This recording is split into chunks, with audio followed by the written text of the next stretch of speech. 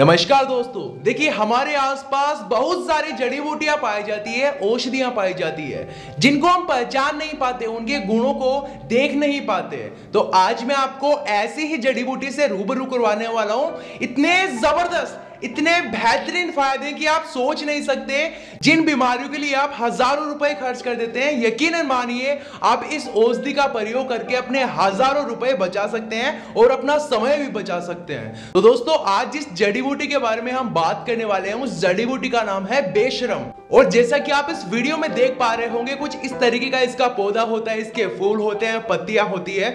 अगर आपके आसपास ये पौधा आपको कहीं दिख जाए तो झट से तोड़कर घर ले आना और इसका सेवन करना शुरू कर देना। दोस्तों, इस पौधे की डंडी को तोड़ने पर इसमें से दूध निकलता है और ये हम सभी के आसपास पाया जाता है। पूरे भारत में पानी की टंकी के पास पाया जाता है, खेतों में, नलकूपों के पास। तो दोस्तों, आप इसका सेवन करने का तरीका जानिए, इसका प्रयोग करने का तरीका जानिए।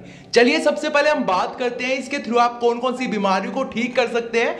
फिर मैं आपको बताऊँगा, आप इसका सेवन किस तरीके से करें। देखिए, अगर आपको दांत खाज खुजली, एक्जिमा, सोराइसिस, कहीं पर भी घाव हो चुके हैं, चोट लग चुकी है खरोच आ चुके हैं। तो आपने सिंपली देखिए क्या करना होता है, इसके डंडी को तोड़ने पर इससे गाढ़ा दूध निकलता है। उस दूध को आप अपनी एक्जिमा वाली जगह पर लगा दे जहाँ पर सोराइसिस है, दांत खाज खुजली है। तो वहाँ पर इसका दूध लगाने से दो से तीन दिन में ही आपकी समस्या दूर हो जाती है। अगर आपको घाव होता है तो घाव एक से दो दिन में भर जाता है। और इसके अलावा अगर आपको शरीर में कहीं पर मोच आ जाती है तो इसके लिए आपने देखिए जो बेशरम के पत्ते होते हैं, हालाँकि थोड़े जहरीले होते हैं, इस वजह से इन्हें जानवर वगैरह नहीं खाते, पशु पक्षी नहीं खाते।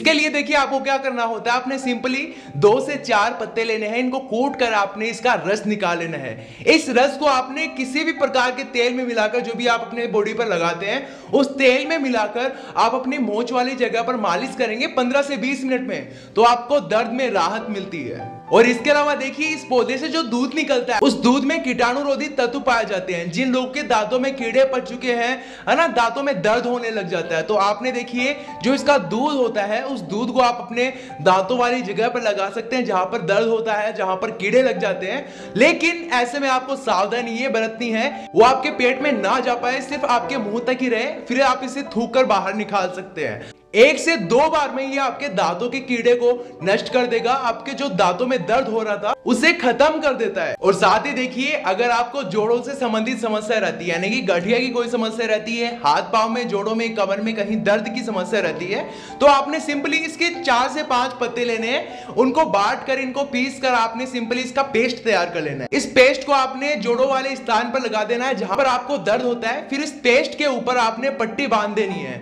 रात को सोते समय आपको ऐसा करना है और दो से तीन रात आपको ऐसा कंटिन्यू करना है। आपके जोड़ों की समस्या जट से दूर हो जाएगी दोस्तों। लेकिन ये तभी मुमकिन हो पाएगा जब आप इसका प्रयोग करेंगे क्योंकि वीडियो देखने से कुछ नहीं होता बोस जब तक आप इसका प्रयोग नहीं करेंगे, तब तक आपको इसका फ़ायदा नहीं मिलेगा